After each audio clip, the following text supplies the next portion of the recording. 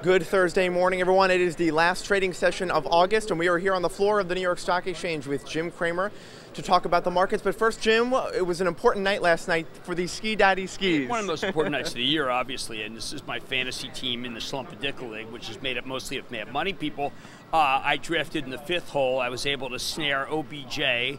Uh, why did I want him? Because I'm tired of him beating me, and also because I need an insurance policy against the Eagles. In this way, I feel like he's the guy who's destroyed me more than any other player. I wanted to neutralize him. I might even just bench him. I just didn't want to play him.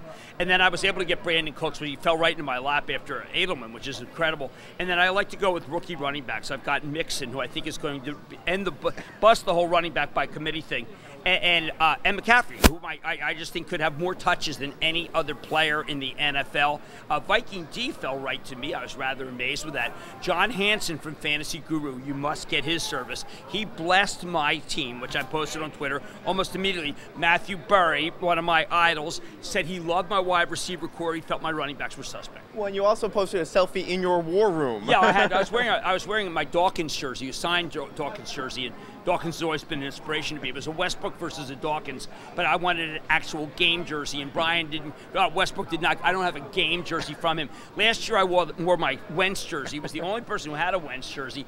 Uh, my like I said, my whole team is posted, and those who have criticized me, remember, two team Super Bowl winner, two time, two time, right two here. time. Some people say dynasty. Dynasty is back. Yeah. All right, Jim Cramer, let's move on to some, well, more somber news at Wells Fargo. What a mess. More yeah. fake accounts potentially discovered. Yeah, I mean, I, I, John Stumpf came on the show and uh, Mad Money and pretty much assured me that there really wasn't anything left, that they had done a thorough investigation. And uh, it looks like a whitewash to me. It, it, now, whoever did that investigation, I want to know their names. Uh, I want to know why we need this board. This board seems to be uh, easily replaceable by people perhaps from outside. I want to know why there isn't a special master being assigned the way that Bristol Myers had a special master when Bristol Myers was doing things we shouldn't. I urge the government to appoint a special master to Wells Fargo. That's exactly what they do. Right today, there should be a special master running that. You know, the uh, U.S. attorney for uh, in California, in Northern California, they should put in a special master. This should not be allowed. They need someone from the outside on that bank. My advice is special master. Look at the situations that have had to have special masters. They're almost always involved this kind of chicanery. So, will we see Wells Fargo executives in handcuffs at some point? No, nothing will happen at all. My special master won't be listened to. This is America. In America, that doesn't happen. Hmm. Now, um, other countries, but no, no one handcuffs. No, uh, maybe uh, big bonuses. Hmm. You know, they probably get some good bonuses, right? I mean, look at all that account opening.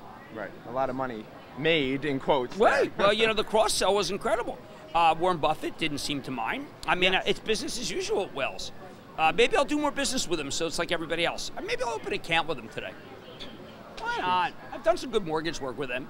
You know, show them some support I mean, for their uh, incredible uh, cross selling. They clearly love opening accounts. yeah, I mean, obviously they had some very th- thorough investigators there. No doubt, uh, Moe, Larry, and Curly. maybe, maybe Joe. I don't know. I've always felt that Joe did it was second rate uh, stooge, but maybe he was brought in for because they were shorthanded in the investigation. But not Paul Weiss. no, not uh, Ted Wells. Uh, an Inflategate investigation, which was obviously done right. in a far more serious way, had much bigger consequences. just incredible. All right, Jim, we'll move on to. It is America. Nothing will happen. I want to make sure everyone understands that. Elizabeth Warren will call for further investigations. No one will listen to her because she's in the minority, and nothing will listen to me read my lips, nothing will happen. All right, we'll keep watching how it plays out. Jim, let's move on to Costco posting some nice comparable store sales. Yeah, what I mean, look, uh, uh, Costco prices are still underneath what Amazon is going to do, and that's because Costco also has a card. They also like like Amazon Prime. Uh, Costco delivering incredible numbers. They continue to deliver incredible numbers. Wait till they really gear up on uh, their online. I happen to think Costco is a terrific company, and the uh, multiple got too compressed. Hmm.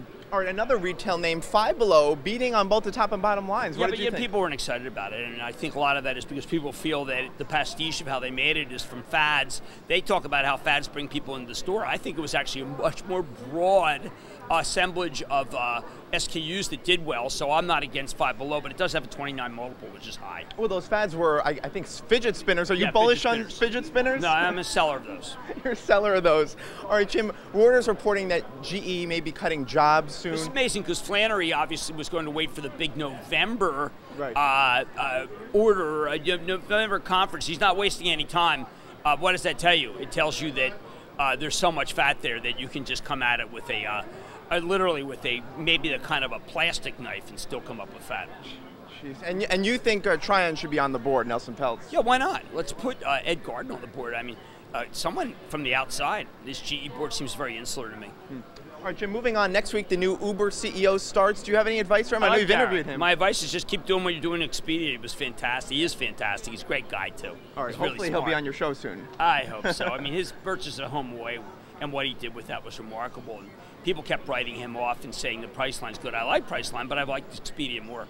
All right. Another stock you like, FMC Corp, upgraded by Bank of America. Yeah, the old food machinery company. This is because it's a double whammy. They went from being sell to buy, and that's because they're going to get they're getting DuPont's a very good part of DuPont's ag business. And remember, it's lithium batteries. If you listen to the analog devices call, you know the country, the world, they want electri- electrified cars, and that means lithium batteries. Uh, well, you talked about analog devices in your real money column. You said the quarter was brilliant. Yeah, eh, but look, and people, you should read my column.